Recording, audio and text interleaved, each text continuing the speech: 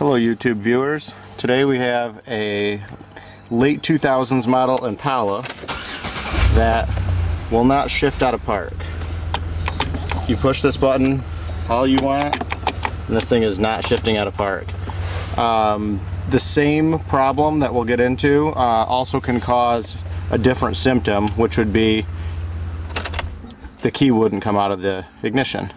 And the reason is there's a wiring harness that communicates between the uh, key and the shifting system that tells it that for and the brake for that matter that tells it don't shift out of park unless the brake is depressed. And also don't allow the key out of the ignition if the shifter isn't in the park position. So if the wiring harness that's connected to the shifter is not uh, intact. It's losing communication with both the brake pedal and that uh, ignition um, uh, key and uh, won't let it um, either won't let it shift out of park or won't let you remove the key. In this case, uh, we're lucky. It's just that the shifter will not shift out of park.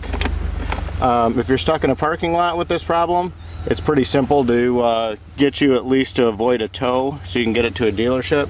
Um, you can just get a big flathead screwdriver like this and pry your shifter frame out. I'm not going to use the flathead screwdriver to pry the shifter frame out because I don't want to scratch anything, but you could get it done with just that one tool. Um, instead, I use like a, um, see if I have it here. There we go. I use like a chisel here. Oh, that's probably not called a chisel, but whatever it is. And just pop this thing out. And once this is out, with your long flat-headed screwdriver, there is, which you are probably not going to be able to see down there, maybe. Yes, you can. So, you can see that in the um, lower left quadrant there, that looks like a screw head sticking out that is a manual release button where if you can stick this screwdriver down in here and push that in hold your brake down and you'll be able to shift out of park. Um, and I guess I can show you that that works. So if you can get this down here and push that in it will shift. So that's a manual override that'll uh, allow you to avoid a tow um, but the actual real fix to this is going to require um, a new part. So the easiest way to handle this is new wiring harness. This is AC Delco part number PT3923, GM part number 135839 two three. Well sorry my uh, camera just popped up with use intelligent contrast. Okay GM number 13583923 so uh, this is about a $15, 20 dollar part um, all over eBay and Amazon. Pretty easy to come by. Uh, what you're gonna see when we um, take this whole um, console out is that one of these wires has come uh, detached from this um, clip and it's the one that's telling it that the car is in uh, park in there, or excuse me, that the uh, brake is depressed and therefore it's allowed to shift out of park. So let's get started.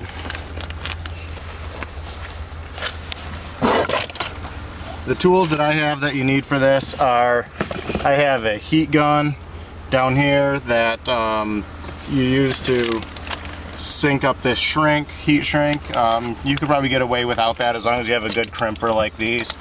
Uh, I also have wire strippers, Phillips head screwdriver, a drill with Phillips head screw bit, and um, I'm in Michigan so I need some warm gloves to work with usually, but right now this beer is keeping my hands warm and uh, that's an optional accessory. I've heard some people say that uh, you can do work on cars without a beer, but I can't vouch for that. I haven't seen it. So we'll take these two screws out. Don't lose them, obviously. Might want to turn the car off. and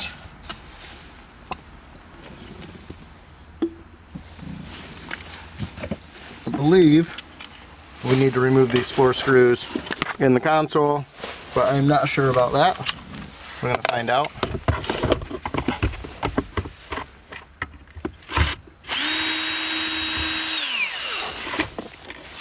You do have to remove this, um, there's a felt cover in the console that protects these screw heads. Um, you do need to remove that.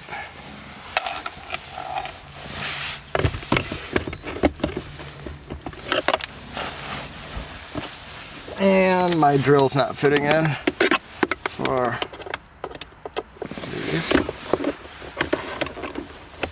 So I have to use trusty six in one.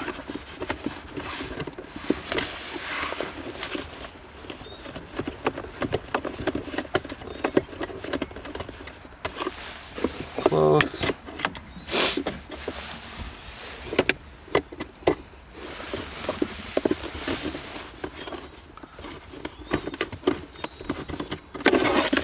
we go.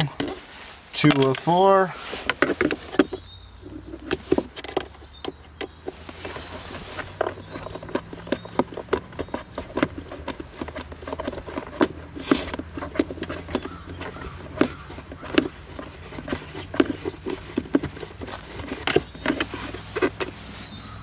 Three of four, and if it's like the one on the other side, I should be able to get this one.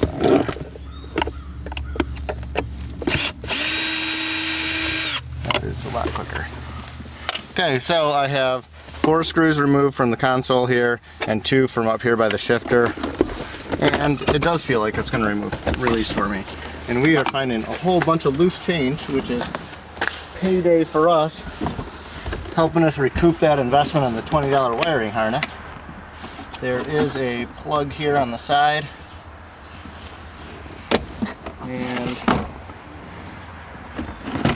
this whole console does easily remove.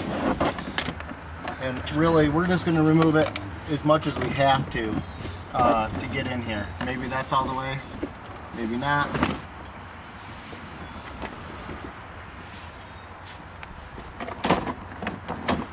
Um, we're going to leave it like that. It gives us the access that we need.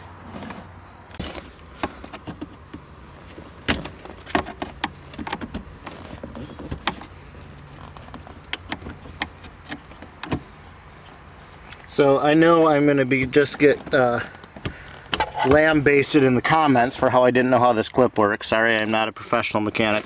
Um, this green piece, you guys need to hit me up in the comments and tell me what the hell the point of this is.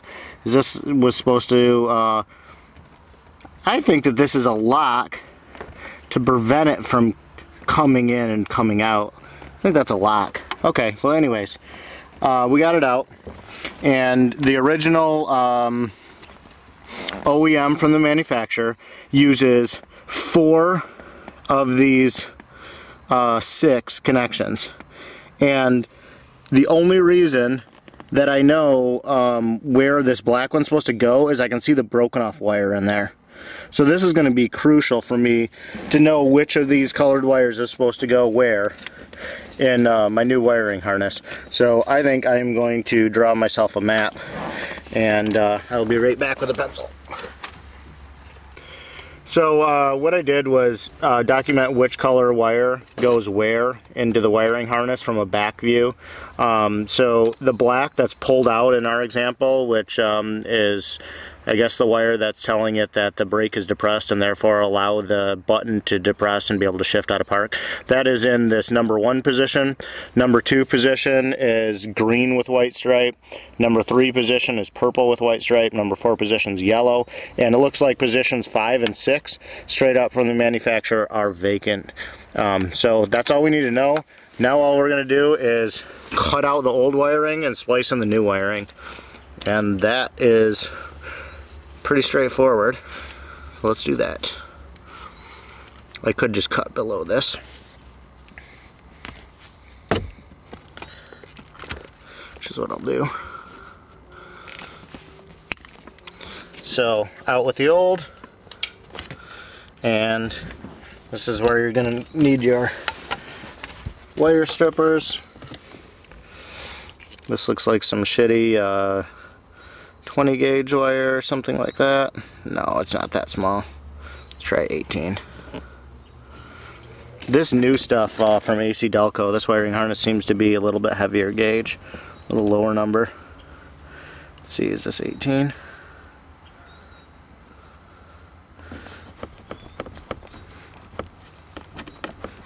Nope, I think it's actually better than that. It's 16. Okay, so I was way off. Yeah, 16. Oh, maybe not. It is 18. 16 is too big. Yep, it is 18.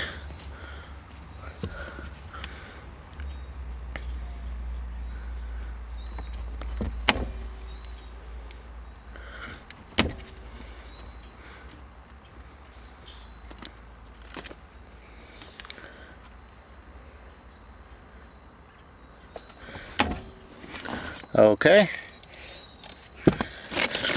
Now,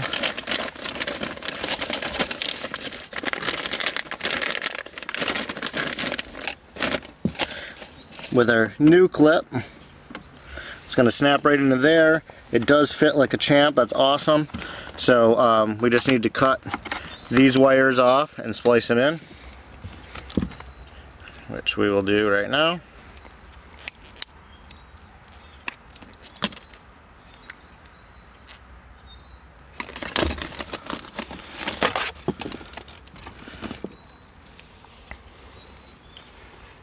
and this might be 14 it is it is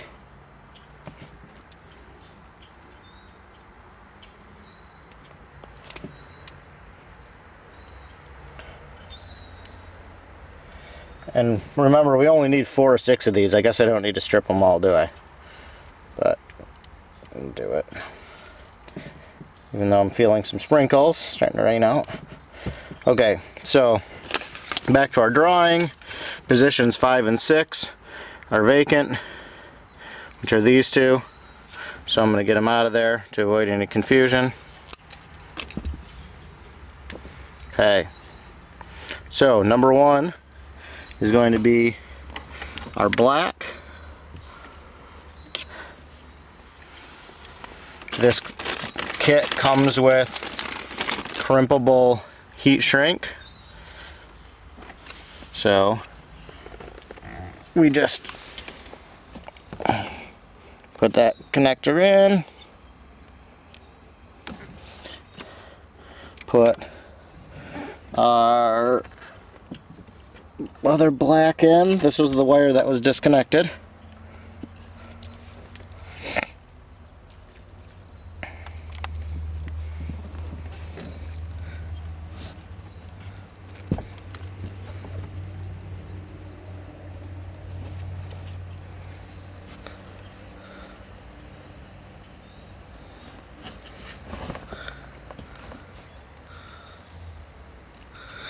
Can do these one at a time. Again, elementary rookie mistake. You guys are probably to crush me in the comments, but do not do wiring for a living. Okay, this is to be our black.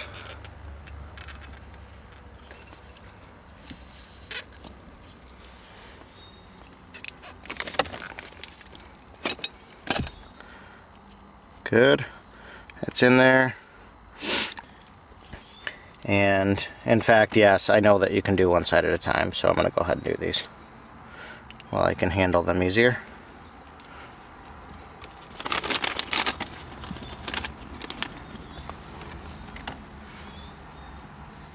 This second position is going to be our green with white stripe.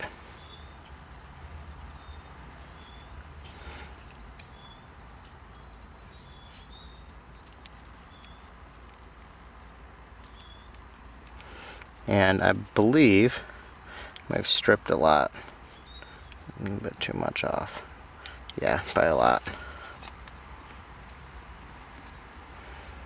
I'm to trim these uh, copper parts back just a touch.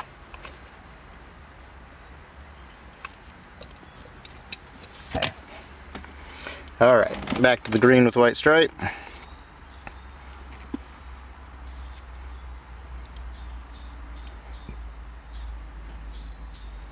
That's better.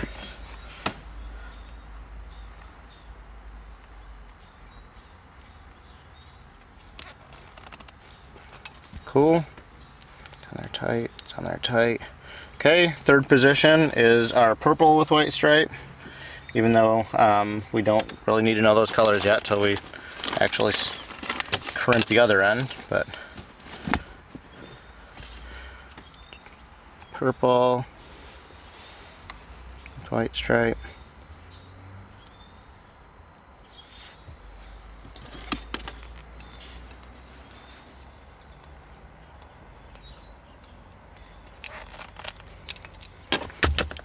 Tight. And finally, our fourth position was yellow.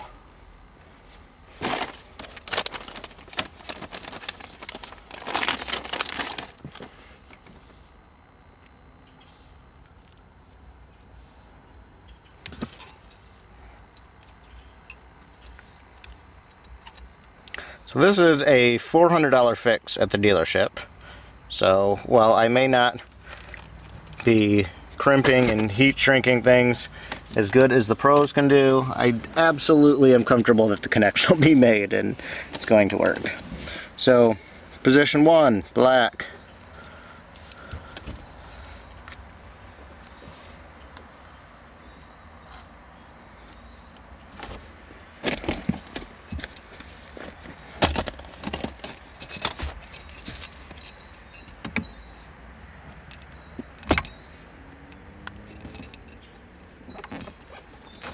Uh, yes, I'm in the right spot.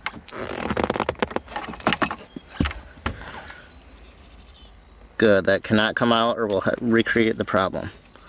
Position two is green.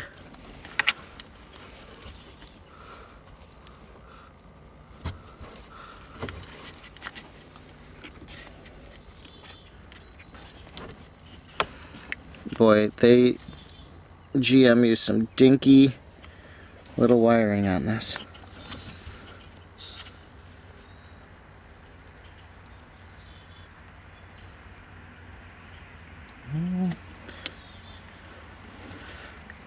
Having a hard time getting it in the connector.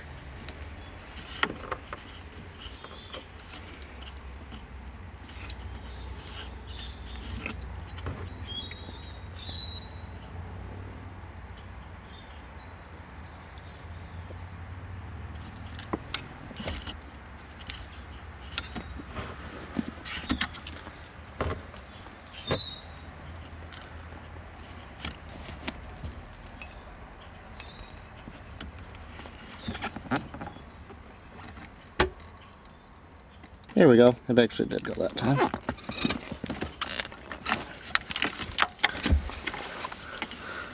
So, that's tight. Um, yep. Then purple is our position three. Right here.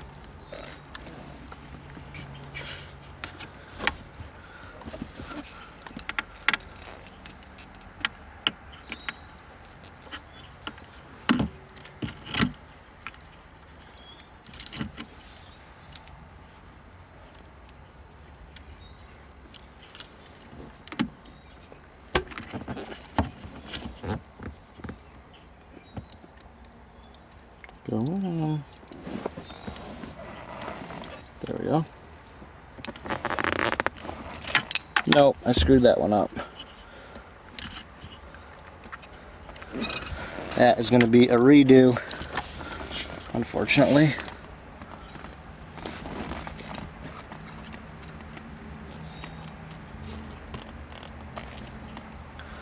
Yeah, that one screwed up.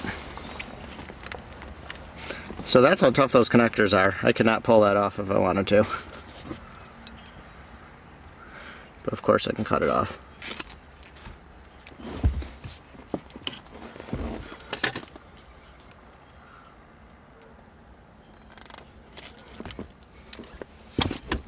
And luckily, we have enough of these crimp crimp shrink connectors because it comes with six because that's what the harness can support even though we only need four for this job.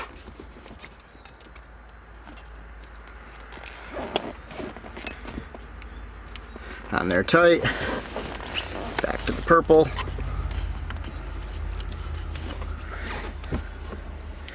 Sure I'm in the right position. Yes, everything is good. That is purple. And I will not screw it up this time.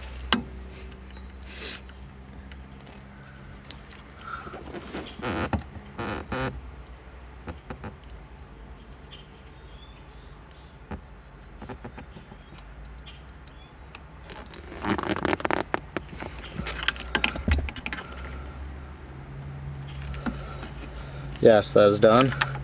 And finally, our last one here is yellow.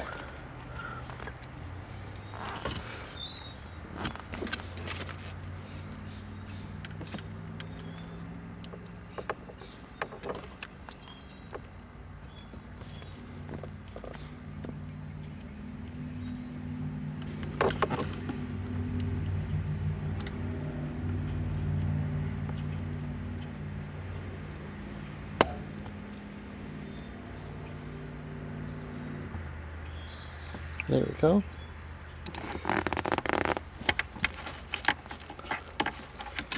Okay, so we've spliced in our new connector with position one being the black, that was why we started this whole project. Position two being green with white stripe. Position three being purple with white stripe, and position four being yellow. Five and six cut off because they're vacant. All we need to do is click this back into the harness and we're good to go. But uh, these do support, um, these are this is heat shrink, so I'm going to heat this up and it will tighten around these wires. Um, you could use some black electrical tape if you don't have a heat gun. But fortunately I do have a heat gun.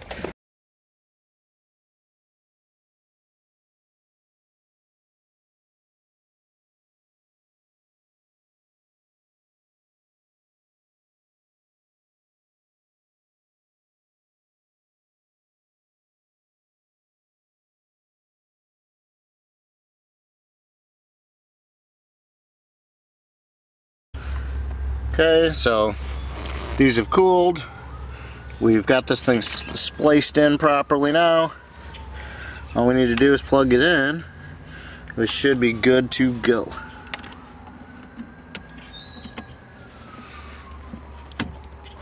Plugged in. And I'm not sure if we should secure this or not. It wasn't from the factory, so I don't think I'm going to. So I'm just going to hold them here, put this factory uh, um, console back in, and we're going to test it before we screw everything down.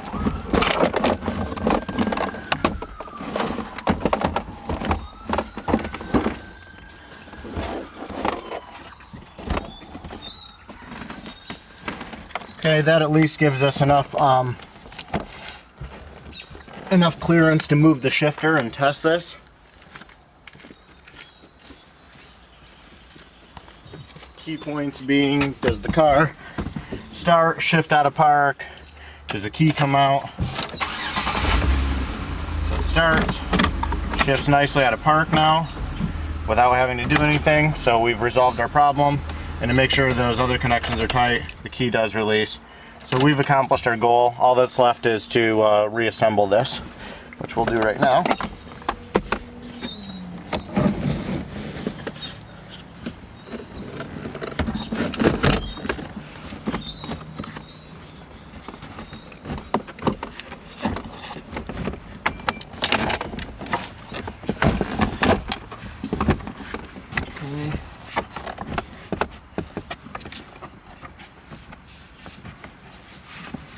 down. That's lined up. Our four screws here are lined up.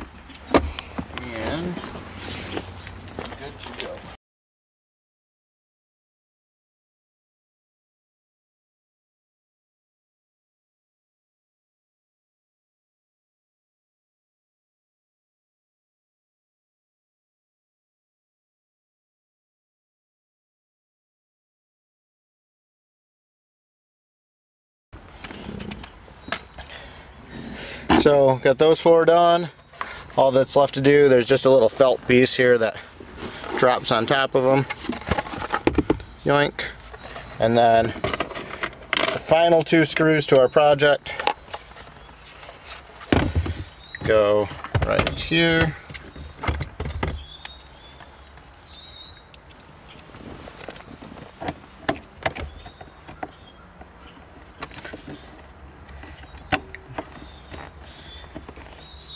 Make sure that gets threaded right. I have to push this trim piece in.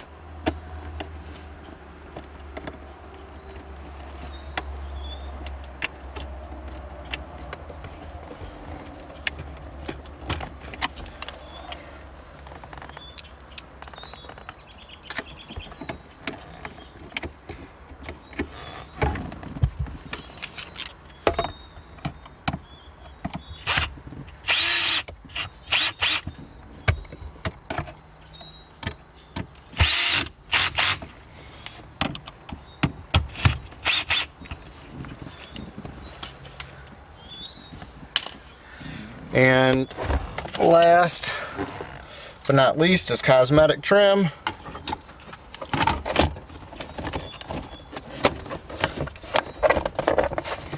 And we have job well done. This is affecting uh, mid to late uh, 2000s Monte Carlos and Impalas. And uh, this is AC Delco part number PT3923, GM part number 13583923. And uh, don't forget if you're stranded, all you need is a long flathead screwdriver to pop this trim off. Go down and push that uh, what looks like a screw head in. That button will allow you to at least get it out of uh, out of park. Um, if you break one of those other wires, unfortunately, and can't get your key out, that's a much more difficult situation because you can burn your battery down. But uh, $20 fix instead of a $400 dealer fix. Uh, hopefully this is helpful for you and uh, save you some cash and get you out of jam. Thanks a lot.